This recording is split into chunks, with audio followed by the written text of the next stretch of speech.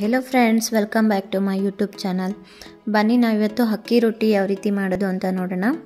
ಮೊದಲಿಗೆ ಒಂದು ಪಾತ್ರೆಗೆ ಮೂರು ಕಪ್ಪಷ್ಟು ನೀರನ್ನು ಹಾಕುತ್ತಾ ಇದ್ದೀನಿ.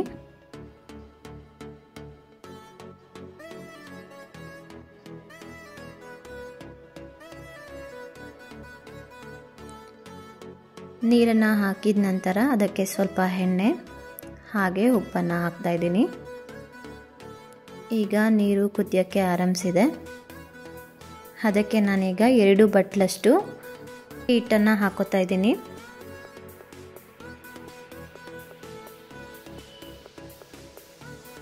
ಅಕ್ಕಿ ಹಿಟ್ಟನ್ನು ಒಂದು ಐದರಿಂದ ಹತ್ತು ನಿಮಿಷ ಚೆನ್ನಾಗಿ ಕುದಿಯೋಕ್ಕೆ ಬಿಡಬೇಕು ಲೋ ಫ್ಲೇಮಲ್ಲಿ ಈಗ ಅಕ್ಕಿ ಹಿಟ್ಟು ಬೆಂದಾಗಿದೆ. ಈಗ ಅದನ್ನೆಲ್ಲ ಮಿಕ್ಸ್ ಮಾಡ್ಕೊಳ್ಳೋಣ ಬನ್ನಿ. ನೋಡಿ, ಈ ರೀತಿ ಎಲ್ಲೂ ಕೂಡ ಗಂಡು ಕಟ್ತಾ ಇರೋ ಥರ ಚೆನ್ನಾಗಿ ಮಿಕ್ಸ್ ಮಾಡ್ಕೋಬೇಕು.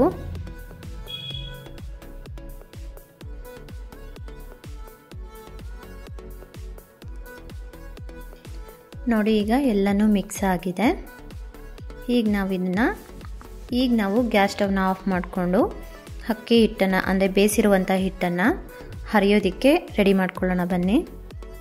ನೋಡಿ, ಈಗ ಹಿಟ್ಟನ್ನೆಲ್ಲ ಈ ರೀತಿ ಸ್ವಲ್ಪ ಸ್ವಲ್ಪನೇ ತಗೋಬೇಕು.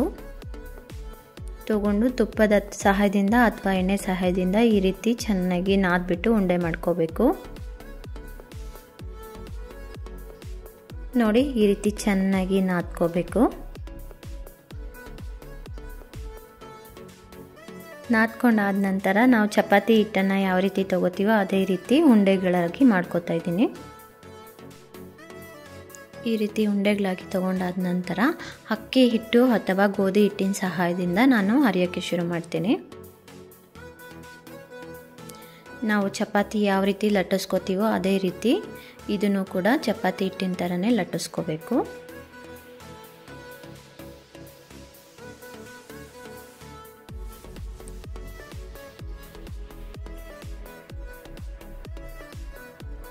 ನೋಡಿ, ಹಿಟ್ಟು ಚೆನ್ನಾಗಿ ಬೆಂದಿದ್ರೆ ಎಲ್ಲೂ ಕೂಡ ಹೊಡೆಯೋದಿಲ್ಲ ನೀಟಾಗಿ ಬರುತ್ತೆ. ನಿಮಗೆ ಎಷ್ಟು ಅಗಲ ಬೇಕೋ ಅಷ್ಟು ಅಗಲ ನೀಟಾಗಿ ರೌಂಡಾಗಿ ಹರ್ಕೋಬೇಕು.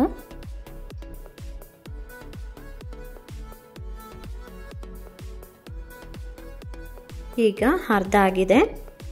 ನಾನಿಲ್ಲಿ ಆಲ್ರೆಡಿ ಹೆಂಚನ್ನು ಬೇಯೋಕ್ಕೆ ಇಟ್ಟಿದ್ದೀನಿ. ಈಗ ಹೆಂಚಿನ ಮೇಲೆ ಹಾಕಿದೆ. ಹೆಂಚಿನ ಮೇಲೆ ಹಾಕಿದಾದ ನಂತರ ನಾವು ಒಂದು ಬಟ್ಟೆ ಸಹಾಯದಿಂದ ಅಥವಾ ಈ ರೀತಿ ಬ್ರಷ್ನ ಸಹಾಯದಿಂದ ಹಿಟ್ಟಿನ ಮೇಲೆ, ಅಂದರೆ ಹರಿದಿರ್ತಕ್ಕಂಥ ಹಿಟ್ಟಿನ ಮೇಲೆ ಈ ರೀತಿ ಮಾಡಬೇಕು.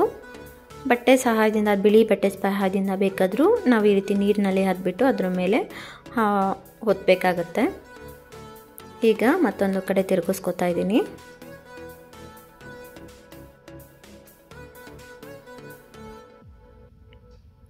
ಎರಡೂ ಕಡೆನೂ ಚೆನ್ನಾಗಿ ಬೇಯಿಸ್ಕೋಬೇಕು. ನೋಡಿ ಯಾವ ರೀತಿ ಹುಗ್ತಾ ಇದೆ ಅಂತ?